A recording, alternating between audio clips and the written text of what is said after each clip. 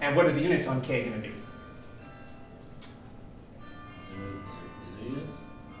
The rate expressions, yeah, uh, rate constants have units. Is it that? Now these are the units for the rate. Oh, so then it's. I don't know. Let me show you how to do that a little bit. What are the units for the rate?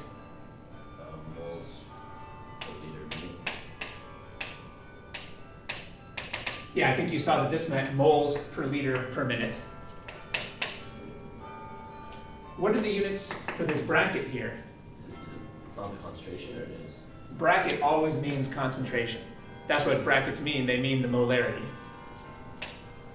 So that's moles per liter. But those are squared, because this is being squared. And then what are the units for this bracket going to be? Moles per liter. But those are to the first power, because of this exponent over here. So this is a kind of dimensional analysis or unit analysis like we might have seen in physics, or maybe a little bit in chemistry as well. Now we need to solve for k. So it's gotta be. Work that out on paper. So I'll have moles to the third, or liters to the third.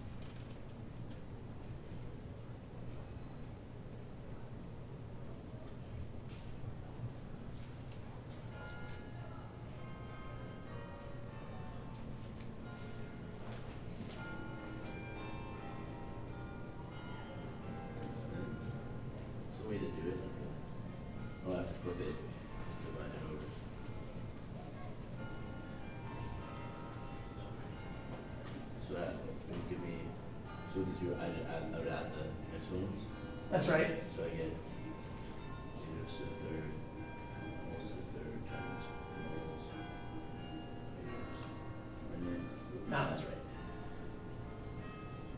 so I get liters squared per moles squared. So we're trying, that sounds good. We're trying to get k by itself. Yeah.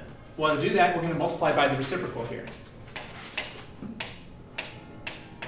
We got to get these units away from the k. Well, the way to get rid of a fraction that's multiplying something is by the, to multiply by the reciprocal. But then algebra says we have to multiply this side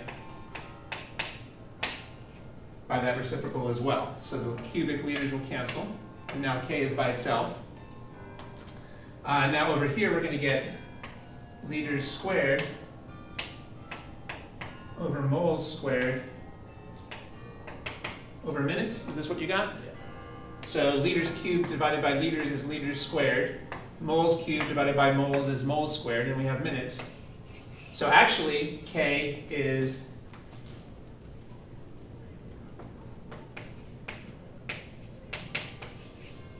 hundred and eighty liters squared per mole squared per minute.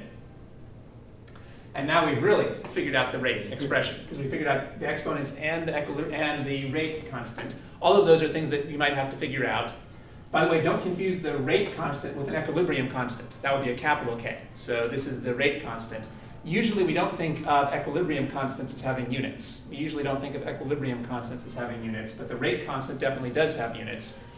Something else we saw here is the units for the rate constant are different for different reactions because the units here depended on what the exponents were going to be, right? Yeah. The units depended on what the exponents were going to be. See, we can't figure out the units here and- until we know the exponents. So it's actually a, a popular type of question to ask you to figure out what are the units for the rate constant.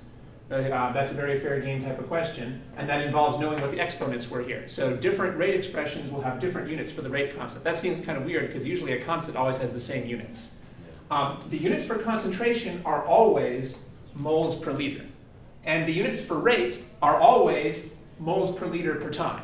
This is first order respect with, with respect to the chlorine, second order with respect to the NO, but overall it's a third order by adding the exponents. That's another question they could ask. Yeah. Thanks. Sure. All right, and as usual, just doing one example isn't enough to really prepare to do it on the tests. You have to find some other examples that are similar. These videos are offered on a pay what you like basis. You can pay for the use of the videos at my website. There's a link to my website in the info box. The address is www.freelance-teacher.com slash videos.htm or you can just use the link in the info box. Thank you.